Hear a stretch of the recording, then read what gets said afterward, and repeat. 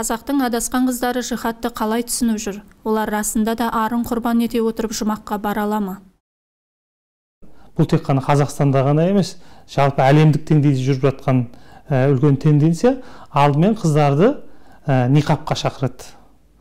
Ә, ниқап дегеніміз көзін тек қана ә, тек қана көзін ғана ашық қалдырып өзге жерін бәрін қап қара түсті киім кию. Бірінші соған шақырады. Алладан қорықпайсың ба? Неге сен ашық шашық неге сен жалаңаш жүресің? Көзіңді ғана ашық қалдыруың керек. Соншалықты тақуа болмасаң сен қалай бұл қара киіну керек деген жаңағы уағыздармен ә, қыз баланы алдымен никахқа шақырады. Екіншісі никахқа. Жап жас қыздар 12-ден бір гүлі енді ашылып отырған қыздарды е, сен құран оқымайсың ба?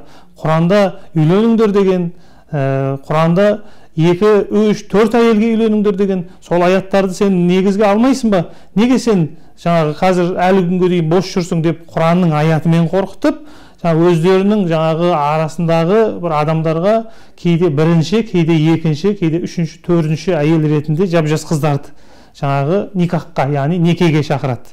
Онымен қоймай жаңағы некелескен адамды енді бірте бірте тағы да исламдағы негізгі бір ұғым болып саналатын хижратқа шақырады. Ол хижрат деген нәрсе негізі өткен оның тарихы кезінде пайғамбарымыз саллаллаху алейхи уассаламның заманында мекке қаласынан мәдина қаласына көшкен қасиетті көшті біз хижрат дейміз. Ол тарихтың ислам тарихының бастауы солай басталады.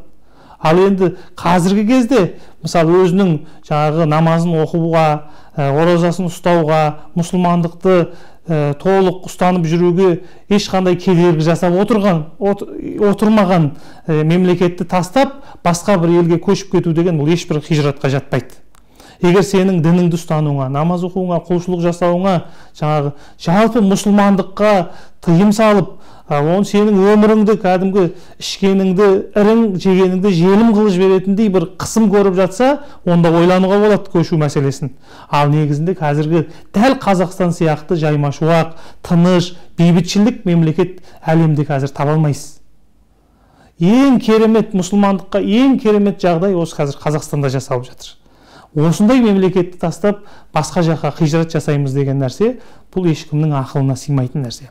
Сондықтан үшінші сатысы хижратқа шақырады. Хижратпен де қоймайды. Одан кейін алла тағаланың жолында күресу деген мағынаны білдіретін жихадқа шақыра бастайды. Қарапайым қыздарды сен алланың жолында жихад жасауың керек дейді. Жихадтың да түр түрін ұсынады.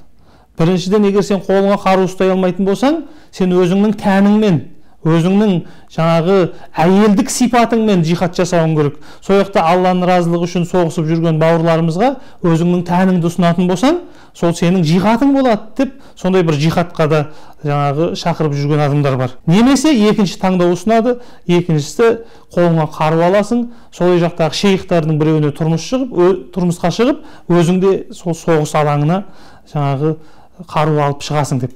Ал енді қыз баланы білесіздер қыз баланың жаңағы табиғаты нәзік. Біріншіден жалпы ол жаққа жихадқа бару деген дұрыс деп отырған жоқпыз. Жалпы қыз баланың жаңағыдай осындай ақылсыз парасатсыз сауатсыз іске баруы бұл мүлдем дұрыс емес нәрсе. Төрт әйелге байланысты мысалы ә, екеуге үшеуге төртеуге үйленіңдер.